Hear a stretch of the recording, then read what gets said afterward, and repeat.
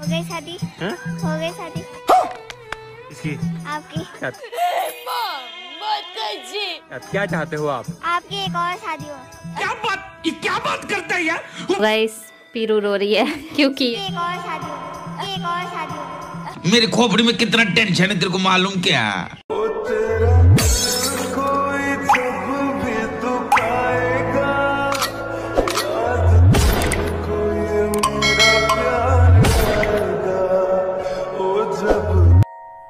अरे कहना क्या चाहते हो?